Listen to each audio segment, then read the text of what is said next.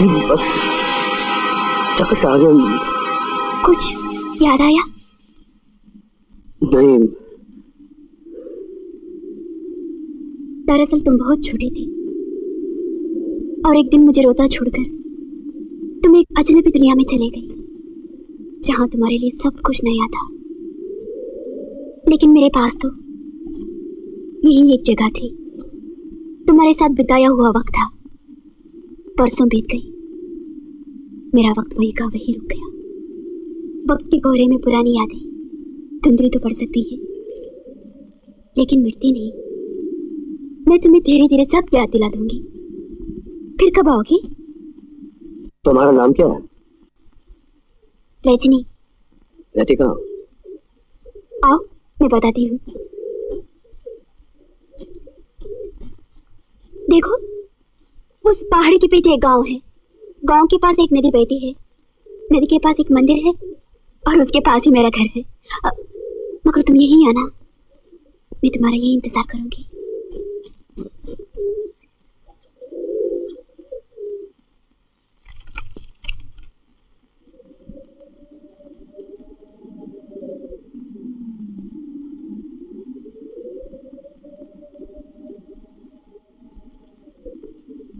राजू बेटे तुम सोए नहीं अभी तक? ऐसे माँ नींद नहीं आ रही। अरे बेटे तबीयत तो ठीक है ना? हाँ हाँ माँ। अच्छा माँ एक बात बताइए। वो जो पुराने खंडर हैं उनके बारे में कुछ जानती हैं? नहीं। मगर तुम क्यों पूछ रहे हो? जाने क्यों जाने क्यों ऐसा लगता है कि जैसे उन खंडरों से मेरा बहुत पुराना रिश्ता है। तुम वहाँ क्या करने गए थे? ऐसे घूमते घूमते वहाँ पहुँच गया। और नहीं बेटा वहाँ मत जाया करो। वो जगह अच्छी नहीं लेकिन माँ जब मैं छोटा था तब भी तुम्हें वहाँ जाया करता था।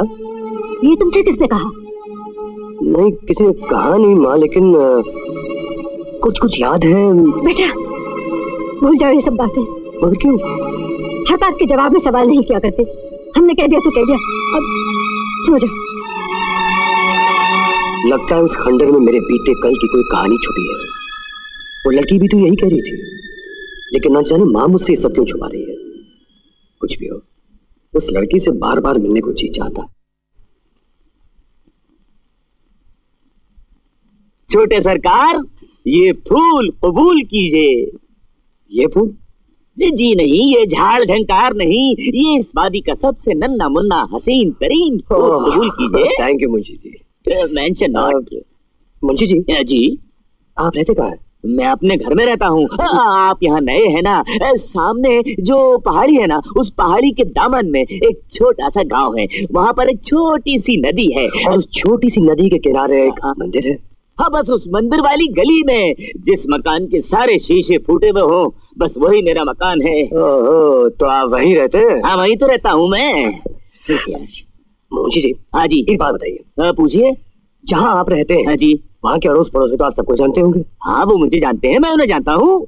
तो फिर आप उसको भी जानते होंगे। हाँ उसको तो मैं जानता ही हूँ ले, लेकिन किसको? उसको आपके गाँव में रहती है। हाँ। वो बहुत खूब। फिर कभी। हाँ फिर कभी। ये फिर कभी कौन है? फिर कभी तो मेरे गाँव में कोई नहीं रहती है।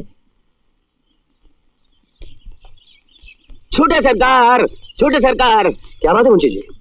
आपकी उस फिर कभी में अभी की बात भूल गया। इस मुंशी की, मुंशियान ने आपको घर पे दावत दी है। दावत दी है? जी। किस लिए? मेरी डेथ एनिवर्सरी है। डेथ एनिवर्सरी जी हाँ कहने के लिए तो शादी की सालगिरह है मगर मेरे लिए बर्बादी की सालगिरह है। जिस दिन मेरी शादी हुई थी उसी दिन मैं मर गया था। वो दिन है और आज का दिन है। मैं अपनी ज़िंदा लाश को इस अंग्रेज़ी कोट के कफन में लपेटे हुए गाँव की गली कूचों में भटकता फिर रहा हूँ। मुंशी जी ऐसी बातें थोड़ी करते हैं। वैसे कब है आपकी शादी की सालगिरह? कल ही है वो अशुभ दिन। मगर आपके आने से वो दिन शुभ हो जाएगा। मैं? जी हाँ आप आएँगे तो इस गरीब की इज़्ज़त बढ़ेगी। बड़ा मौज मेला लगेगा। आपका चर्चा होगा, मेरा खर्चा होगा खर्चा होगा। मगर बड़ी रौनक लगेगी। गाँव का हर आदमी आएगा। नर नारी आएगी, हर कंवारी आएगी, हर प्यारी प्यारी आएगी। फिर तो रजनी भी आएगी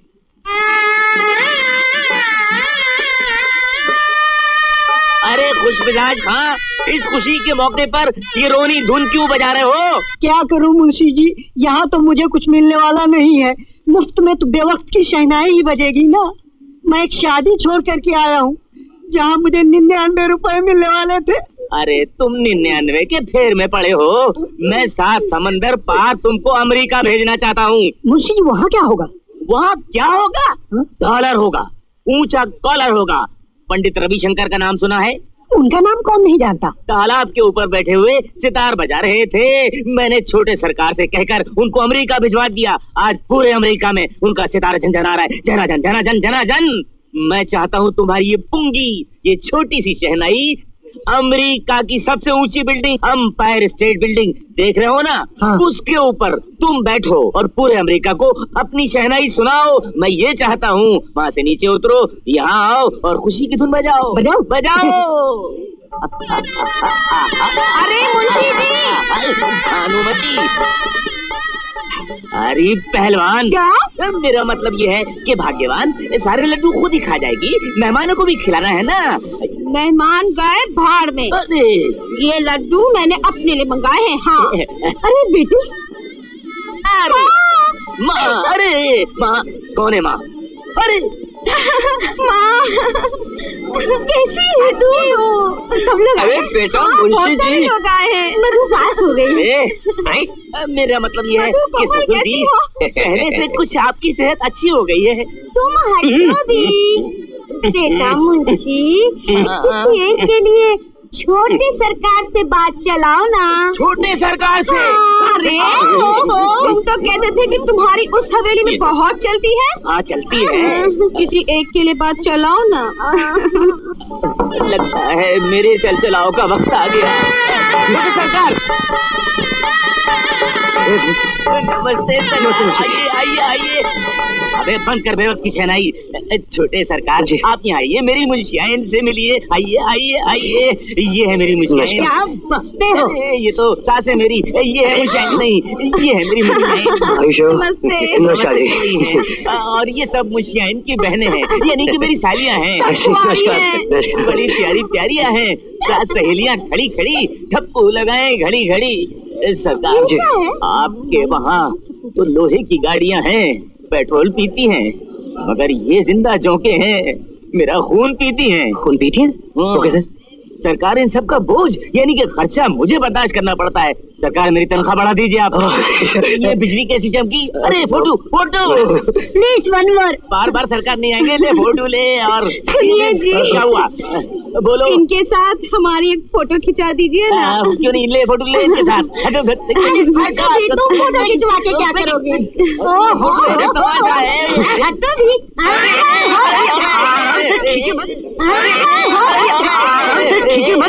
अरे फ़ोटो खिंचवा रहे हो कुछ नहीं लड़ रहे हो।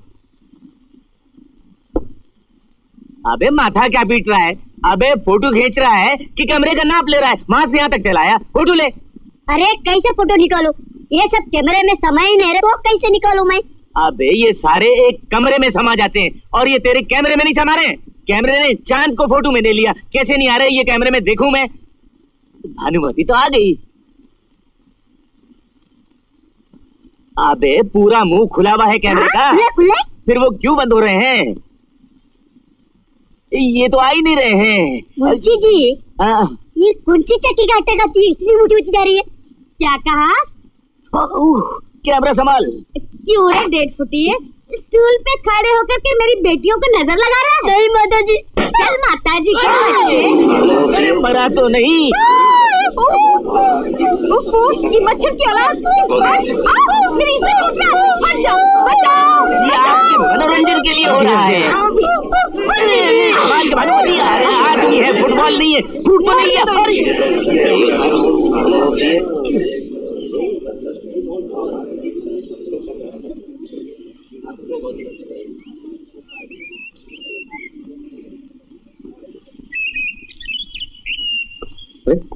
है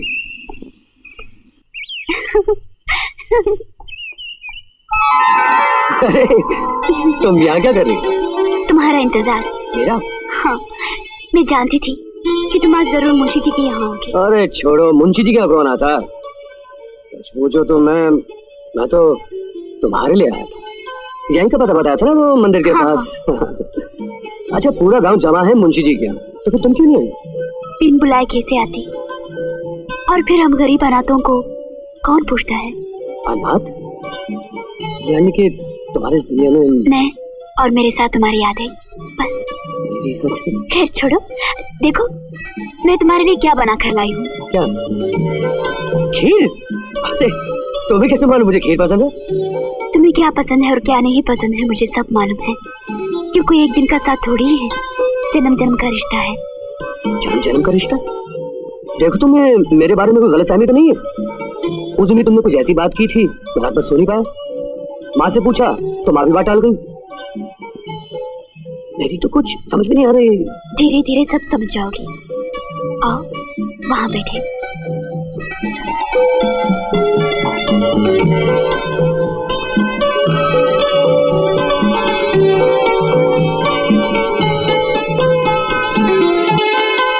हम्म।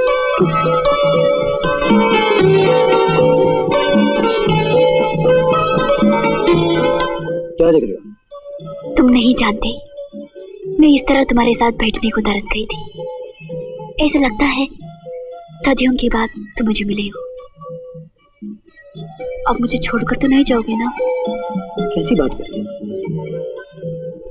इस मासूम चेहरे ने मुझे इतना बेचैन कर दिया कि मैं ज़िंदगी भर इसे अपनी आँखों से उछल नहीं लूँगा बाधा।